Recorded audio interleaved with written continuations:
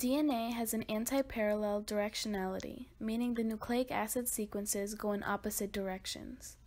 In other words, one strand runs in the 3' to 5' direction, and the other strand runs in the 5' to 3' direction. The antiparallel structure of DNA is very important in DNA replication because it replicates the leading strand in one direction and the lagging strand in the opposite direction. DNA helicase enzymatically unwinds the DNA and separates each strand. The leading strand is the parent strand of DNA that runs in the 3' to 5' direction towards the replication fork, and it is able to easily be replicated continuously. On the other hand, we also have the lagging strand, which is the parent strand that runs in the 5' to 3' direction away from the fork, and is replicated discontinuously, also known as discontinuous construction. The lagging strand is not replicated continuously because it is synthesized in short segments called Okazaki fragments. Then, DNA polymerase replicates the leading and lagging strands simultaneously. Each nucleotide is then paired with its complementary base pair. In DNA replication, adenine always pairs with thymine and cytosine always pairs with guanine.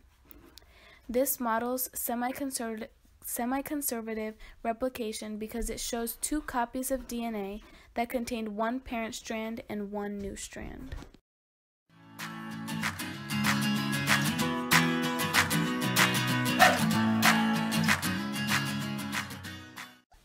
Transcription is the process in which RNA is synthesized using a DNA template strand mRNA's job is to carry the genetic information copied from DNA in the form of a sequence of three base codes.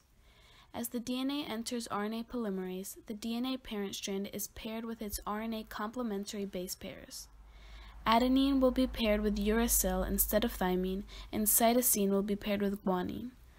As the complementary bases are paired, the mRNA strand is formed and continues to grow. Also, while DNA is double-stranded, RNA is single-stranded due to the fact that it contains the sugar ribose instead of deoxyribose. There are also extra nucleotides on the mRNA sequences before the start codon, methionine, and after the stop codon. And lastly, transcription factors activate and regulate the transcription of genes.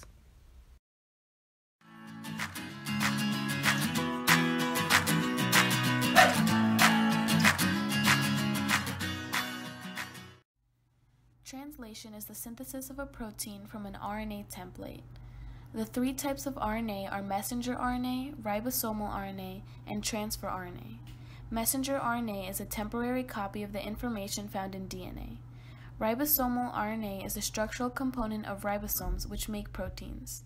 And transfer RNA carries the amino acids to the ribosome so that they can be assembled.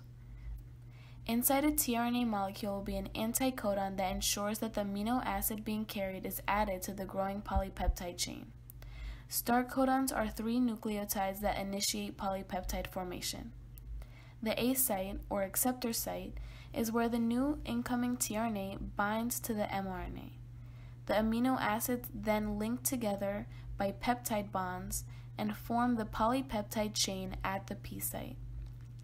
The E site, or exit site, is the third and final binding site where tRNA is released by the ribosome. The stop codons then signal for transcription termination once the last tRNA was copied.